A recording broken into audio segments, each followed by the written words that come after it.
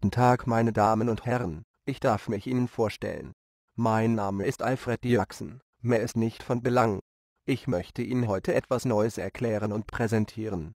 Einen Jahreskalender, den man sowohl in kleiner Ausführung für den Schreibtisch, als auch in großer Ausführung für Räumlichkeiten zum Beispiel Eingangshallen, Wartezonen und so weiter bestellen kann.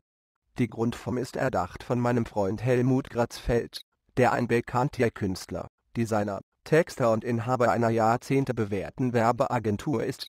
Seine künstlerische Grundhaltung ist der Minimalismus, mit all seinen Variationen sowohl textlich, bildhaft und räumlich. Zahlreiche gewonnene Wettbewerbe zeichnen ihn aus.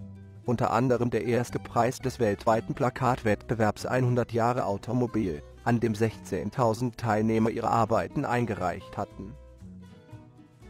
Meine Wenigkeit hatte die Aufgabe, seine Idee zu konstruieren und zu visualisieren. Danach Bau der Prototypen bis zur Serienreife. Überwachung der handwerklichen Qualität der Ausführung und das Erdecken einfacher Bewegungsmechanismen war ebenfalls Teil meiner Aufgabe. Nun zum Jahreskalender an sich. Wie Sie sehen besteht dieser aus zwölf Skulpturen, die den zwölf Monaten des Jahres zuzuordnen sind. Jede Skulptur symbolisiert in ihrem Design den entsprechenden Monat. Januar. Ein Schneemann. Februar. Einen Karnevalisten in Uniform. März. Einen Bauern, Pflügen des Ackers. April. Ein Osterei. Mai. Das Blühen und Grünen. Juni. Sportliche Aktivitäten des Frühsommers. Juli. Badezeit. August. Heißes Wetter und Sonne. September. Segelwetter. Oktober. Zeit der Ernte. November. Eintrauernder. Dezember. Nikolaus und Weihnachtsmann. Eine Funktion des Jahreskalenders ist das Visualisieren eines bestimmten Monats. Das geschieht so. Alle Skulpturen sind drehbar gelagert. In der Grundstellung zeigen alle Skulpturen den Rücken. Zu Jahresanfang. Januar. Die Skulptur. Schneemann. Diese wird umgedreht und zeigt nun die Vorderseite. Und so weiter.